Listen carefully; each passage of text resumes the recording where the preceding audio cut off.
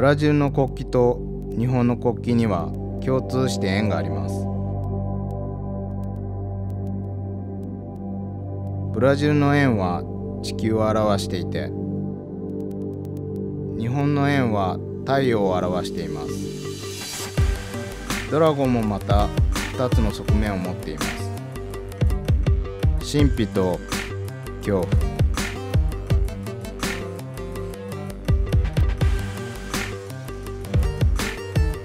然の大いなる力のように私はこのテニスにそれを表現しました。